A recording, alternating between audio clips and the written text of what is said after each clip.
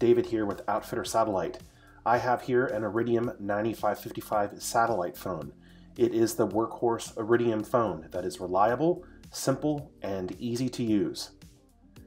The phone itself has a clean, simple interface and responsive keypad.